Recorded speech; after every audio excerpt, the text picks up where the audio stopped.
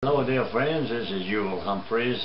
I'm glad to be with you again to share with you a message here from my home and my study right here where I live in my apartment and I thank God for these 10 minute messages that go out over the air and I hope and pray that you'll bless and be blessed by them. I'm going to speak to you on the subject of the fact that we need not be afraid. Do not be afraid. Fear is something that is easily contacted and is contagious. It can spread. You know we need to recognize the danger of fear. And we need to see that there is in the Bible ways that teach us to overcome fear. We need not be afraid. There's a lot of things that we could be afraid of if it were not for God. We could be living in a world where there's turmoil all around us, where there's terrorists and where there's death and there's sorrow. And there's a lot of things that can happen people are dying on the highways and people are getting killed and getting sick and facing terminal diseases and all kinds of things are happening in the world to make us fearful. We could be fearful about children, our families. We could be fearful of our own lives. But the Bible says, fear not. If you believe in God, do not be afraid. Over in the book of uh, Isaiah, the 12th chapter, verse 2, it says, Behold, God is my salvation. I will trust, and I will not be afraid. Behold, God is my salvation. He saved me. He is my God. I'm His child, and I belong to Him through Jesus Christ. And therefore, I shall not be afraid. I'm in Him, and He's in me. The Spirit of God dwells in us, Christians. He dwells in you. That means God himself is inside of you. And that when he's in you, you don't need to be afraid. The Bible says, For the Lord God is my strength and my song. He has become my salvation. The Lord God is my strength and He's my song. And I need, need, uh, need to learn to sing and to praise God and to be bold and not be afraid because God is my courage and He's my strength and my song and He's become my salvation and He's your salvation and God loves you very much. He has redeemed you. Number one, you're born again. You're saved by the grace of God and you're not going to be judged by the, all the laws of God because Jesus went to the cross and paid for all your sins and He died for us that we could live. And he rose again and he's coming back. And therefore we need not be afraid but trust God and know that all is well.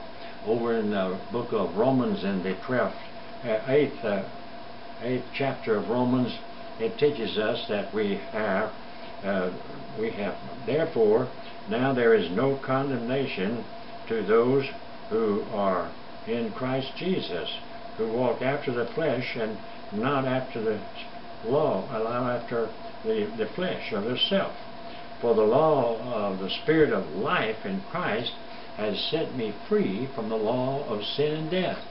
So you see that when you became a Christian, dear Christian friend, my brother or my sister, when you became a Christian, then the fact that there was a change in your life took place and you were set free from the law. That means you're not going to be judged by that law anymore. Oh, the Ten Commandments are beautiful and right, but they're bold and strong and harsh like a hammer. And though they be holy and right, they can crush us. But fact is, we're not going to be judged by the law. We're going to be set, we have been set free from the law by the law's life in Christ Jesus. So believe in Jesus Christ, and you're saved by grace.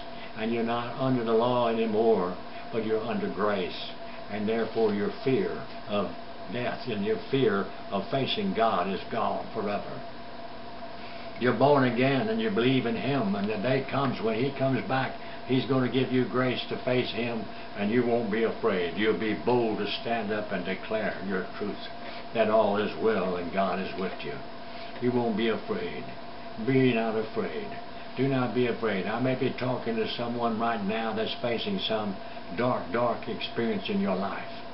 And you're facing a circumstance that holds nothing good, but it seems to be so heavy and harsh. And you're going through such darkness right now. and you don't know hardly the way out, let me tell you, trust the Lord and don't be afraid. You belong to God, then you're safe. Out there on the lake of Galilee, Jesus was walking to them on the water, and they saw him coming to them, and they cried out in fear. And Jesus said, Don't be afraid. It's me. Fear not. And he's saying that to you tonight, dear friend. I'm right there in that problem with you. It's me. Don't be afraid. Don't be afraid of me. I'm in that problem with you. I am the reason for your problem. I'm in the middle of it with you.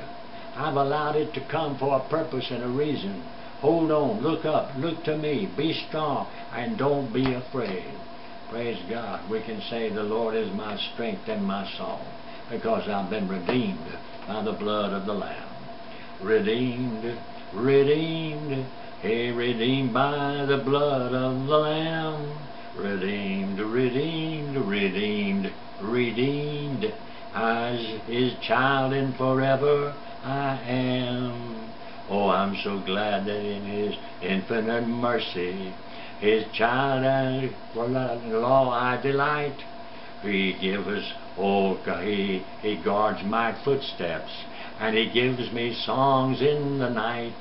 Redeemed, oh, redeemed, redeemed by the blood of the Lamb. Redeemed, redeemed, redeemed, redeemed, his child and forever I am. So whatever you're facing tonight, dear friend, let me say to you, God's facing it with you. It's not too big for him, and it's not too big for you. Remember this, that you were made in the image of God, and God is no weakling. Be strong in the Lord and the power of his might and you go on. You do that by denying self and submitting to God and letting the Lord direct your path and know that He loves you. And whatever you're facing, He'll give you strength and boldness to face it and know that the hour is now that you're going to come through and you'll overcome by the grace of God and you'll be bigger than the problem and you'll go through it with a song. God help you. Fear not. Be not afraid. Trust the Lord all the way, and God will be your strength, and He will be your song. He will help you find a way. He will teach you truth in all that you do, and God will be there to help you through it. God bless you. He loves you.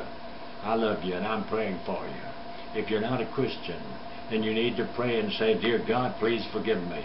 I believe in Jesus. I believe He died for me. I believe He paid for all my sins. I believe he rose again.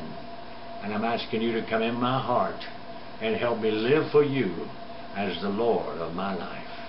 Pray that prayer, and you know that fear will go, and Christ will give you courage to come, and you will be over, over, off, you will be able to overcome and keep on going because God is your strength. God bless you. In Jesus' name, amen.